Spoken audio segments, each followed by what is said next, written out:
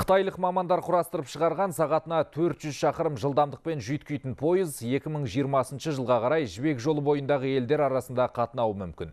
Мұндай мәлімдемені China Railway Rolling Stock Corp компаниясы маманына сілтеме жасап, China Daily газеті хабарлады. Қытайдың реформалар және даму комитетінің өкілі Фэн Хаоның айтуынша, енді орталық Азия мен таяу шығыс және шығыс Еуропа елдері пойыздың жылдам жүруіне арналған шойын жол құрылысын жүргізеді немесе бұрынғы жолдарын қайта жаңғыртудан өткізе бастайды. Сондай ақ мамандар жаңа пойыз вагондарының дөңгелегі жүріп бара жатып, темір жол көлеміне қарай өзгере алатынын атап өтті.